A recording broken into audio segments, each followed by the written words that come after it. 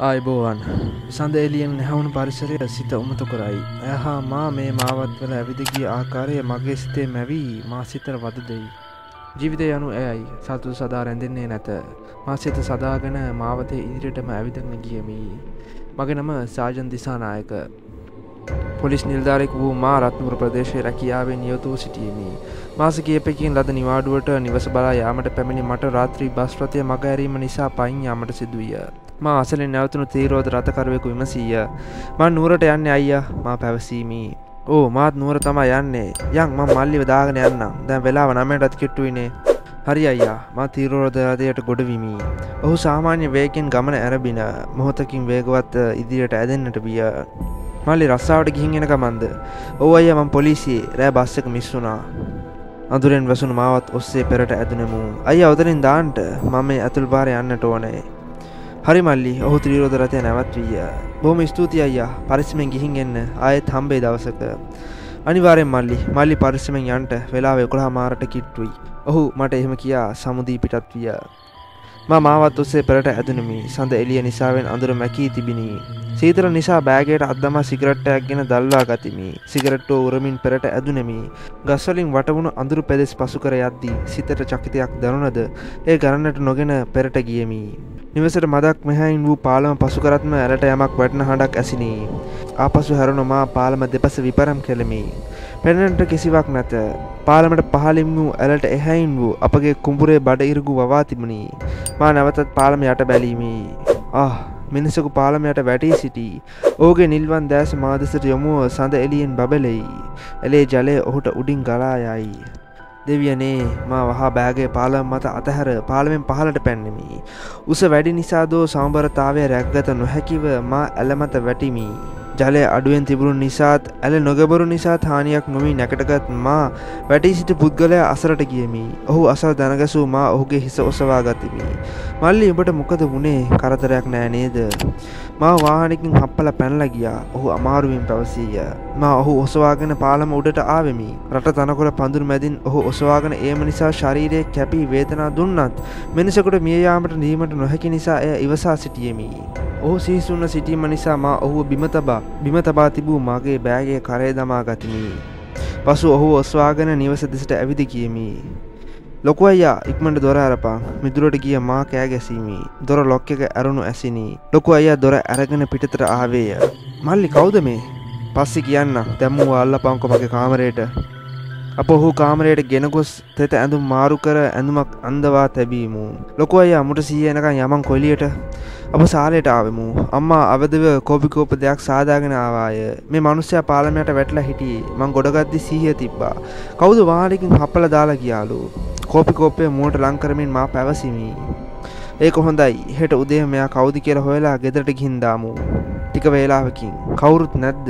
මගේ කාමරය දෙසින් ඇසුණු ශබ්දය නිසා අප දෙදෙනාම දිවගියමු අම්මේ කෝපිකෝප්පයක් හදන් දෙන්න මෙයාට සිහිය ඇවිත්. මල්ලි ඇතර මොකද වනේ මල්ලි? ඔයා කාය කවුද? මං මේ ගමේ. අයල මාව දන්න ඇතුව ඇති. අයල ඇවිත් වැඩි කාලයක් නෑනේ. ඔය ඔයාල ගත්තු කුඹුරු මගේවා. ආහෙමද එහෙනම් මල්ලිගේ තාත්තවන්ට ඇති විකුණන්ට ඇත්තේ. ඔවු මං අද කඩට ගිහින් එදදි රෑවුණා කාර්කාරෙක් පිටිපස්සෙන් ඇවිල්ලා වද්දල ගියා. මේ අය නොහිටින්නට වතුර හින්දා හුස්මගන්ට බැරුවයි මැරෙන්නේ. අම්ම ගෙන කෝපිකෝපය පානය කළ ඔහු ඇඳේ හාන්සි විය. හෙට උදේ මා ගෙතරට එක්කන් යන්න මන් නිදාගන්නවා ඔහුට නින්දර ඉඩදී අපි කාමරයෙන් පිටත්වීමු. අයියා චූටිකෝ. ආ චූටි නං යාලුවකි ගෙදර ගියා. හෙට උදේ එයි. අපච්චිනන් නිදී. හම් එහෙන අයියත් නිදාගණ්ඩ. හරිමල්ලි ඔබ උඩ තට්ටුවේ කාමරයට පලයා. ඔහු කාමරයට ගියය මා සෙමෙන් පඩිපෙළ නැක උඩ තට්ටුවට ගියමී. අඳු මාරු කරගත් මා කන්නාඩිය අසලට ගියමි උඩුකය නිරුවත් මගේ ශරීරය දිසම බලා සිටියමි ගෙලේ එල්ලුණු දම්වලක අමුණා තිබූ කුරුසේ ලයිට් එලියට දිලිසෙයි. පයින් ඇවිදින් එම නිසා පාදක කියයි. පාලම පල්ලේ පනින විට වැටුණු නිසා පාදේ උළුක් වී ඇත. ඔහු ඔස්වාගෙන ඒම නිසා දෑතද රිදුමී. කාමරේ ලයිට් නිවා දැමූ මා නිදා ගැනීමට ඇඳට වැටනමි මහන්සිය හා ශරීරයේ වේදනාව නිසා ඉක්මනින් නිදිකුමාරියේ මා වැළඳ ගන්නට ඇත. කුල්ලුගී නාදෙන්ම අවදන විට උදෑසන හත පමණ වී ඇත. ඉර එලිය වැටි කාමරේ ආලෝකොමත් වී ඇත. ඇඳ මත තබා තිබූ කමිසිය ඇඳගත් මා පඩිපෙළ බැස්සෙමි. මාගේ කාමරයට ඔළුව දැමුවේ කාමරේ ඔහු තවමත් නිදිවිය යුතුයයි විශ්වාසයනී.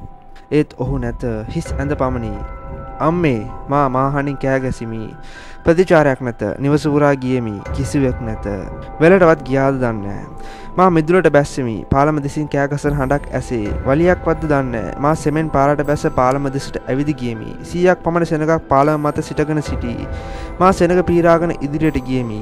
මා දුටුවේ කුමක්ද? මෙහි පිටි කිසිදු සහෝදරයෙක් දරුවෙක් දැකිය යුතු දර්ශනයක් නොවෙයි. පාලමේ තාරපොළොව මත දනගැසුනේ දෙපා අඩ පණවීමෙනි. අම්මා අප්පච්චි ලොකු අයියා ලේ විලක් මැද වැටී සිටී. ඔවුන්න ඉරා දමා ඇත. අම්මේ යනුවෙන් ගමේ දෙදුරුම් කනසේ කෑගැසිමි.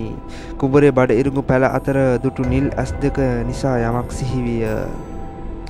අයියේ මේ වෙලේ අයිතිකාරයගේ පුතාකෝ මට පිටුපසින් සිටි අයකුගෙන් විමසීමි. මොකක් මල්ලි මල්ලි යාව දන්නවද ඒකනම් වෙන්න බැහැ මල්ලිලා මේ ගමට එන්න අවුරුදු ගානකට කලින් මේ පාලම් උඩ වෙච්ච ඇක්සිඩන්ට එකින් ඒ මනුස්සය මැරුණා. මොකක් එසේ නම්මා නිවසට ඔස්වාගෙන ගියේ මියගිය අයෙක්ද? ඔහුගේ කුඹුර මිල්දී ගෙන වගා කළ නිසා මගේ පවුලේ අය මරා දැමුවාද? එසේ නම්මා ඉතුරු වූයේ කෙසේද? හමා ආ සුළඟකින් ගෙල බැඳි මාලය සෙලවිනි. කුරුසේ අමනුෂ්‍යයන්ට ළඟා විය නොහැක. එසේ නම් මා ජීවත්වීමේ රහස ඒද වෙනද මාලය ගලවා නිදියන මට එය ගැලවීමට අමතක වූයේ ඇයි. අයියේ මොකද මේ වුණේ අම්මා අප්පච්චි ලොකු අයියා.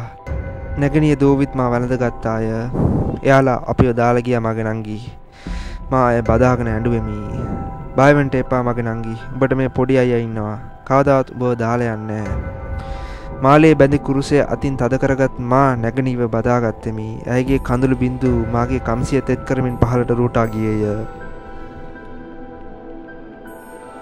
ඉතින් යාලනේ තවත් මේ වගේ හොල්මන් කතා බලන්න ඕන මගේ ප්ලේලිස්ට් වලට ගිහිල්ලා බලන්න. ප්ලේලිස්ට් වල ලින්ක් එක ලයික් බටන් එකට පල්ලෙහා තියෙන ඩිස්ක්‍රිප්ෂන් එකේ දාලා තියෙනවා.